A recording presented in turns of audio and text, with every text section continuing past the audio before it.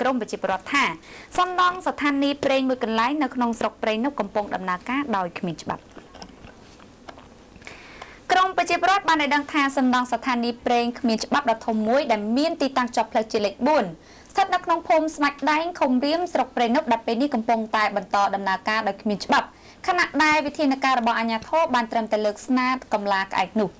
តាមសេចក្តីរាយការណ៍ថាទីតាំងនោះគឺជាចំណែកដីរបស់ឧទ្យានជាតិរៀមពុំត្រូវបានសមត្ថកិច្ចជំនាញចេញប្លង់កម្មសិទ្ធិឲ្យឡើយហើយការសាងសង់ក៏គ្មានច្បាប់ដែរប៉ុន្តែបើទោះជាយ៉ាងនេះក្តីគេក៏គេនៅតែឃើញមានការបន្តការសាងសង់ដដែលតកតងទៅនឹងបញ្ហានេះបរិសម្នាក់ដែលគេស្គាល់ថាឈ្មោះហៀខេ ជាម្ចាស់ស្ថានីយ៍ប្រេងដែលកំពុងតែសាងសង់នេះបានអះអាងថា